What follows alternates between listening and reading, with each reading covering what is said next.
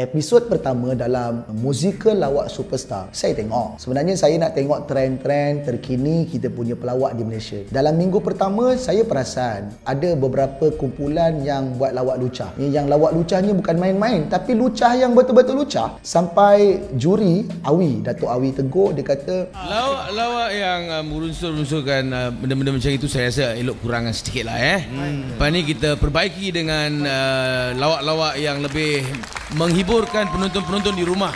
Betul. Khususnya uh, anak-anak kecil yang menonton eh saya rasa lebih baik kita perbaiki daripada kita menggunakan banyak unsur-unsur seks. Dan yang saya takutkan benda ni ada penonton di studio, ada penonton di rumah yang menontonnya pelbagai golongan. Dia akan membuatkan orang rasa bila kita buat melawak lucah ini adalah benda yang biasa. Sebab itu kita perasan kadang-kadang ada budak perempuan jalan, budak lelaki pun kata, "Pe, barang baik sial." Sebab dia rasa benda tu kelakar. Berdalam pandangan masyarakat, benda ni adalah biasa. Sebab tu ada pasukan bola yang di belasah. Orang akan komen, oh kesian kena rogol. Apa dia ingat rogol ni satu benda yang best ke? Satu benda yang main-main ke? Boleh digunakan untuk pasukan bola yang di belasah. Dan yang biasa mengomen seperti ini adalah orang lelaki. Dan kadang-kadang saya tengok yang perempuan pun sama naik bercerita dengan benda-benda yang macam ni. So saya fikir benda ni kita kena stopkan. Sebab bila kita menganggap ia adalah normal, kita akan membuatkan yang kita ni rela untuk orang yang gunakan secara verbal berlaku sex harassment. Sebab itu tolong jangan budayakan untuk lawak lucah seperti ini dan saya pesan kepada kawan-kawan mereka-mereka pelawak di Malaysia ni stop jangan lagi gunakan elemen-elemen lucah ini untuk melawak. Sebab awak ni mengajak orang-orang yang ada di bawah. Benda tu sekarang ni yang saya paling risaukan bila mana ada youtubers kita yang menggunakan platform YouTube dengan subscriber yang banyak menggunakan elemen lucah untuk menarik crowd. Maaf cakap saya hormat dia sebagai seorang yang membina konten di YouTube. Tapi awak ada tanggungjawab kepada masyarakat. Janganlah kalau nak promote iklan ubat ketat kemaluan perempuan. Awak tunjuk boobs perempuan, tunjuk payudara dia, uh, boleh pergi naik motor dengan lelaki perempuan, lepas guna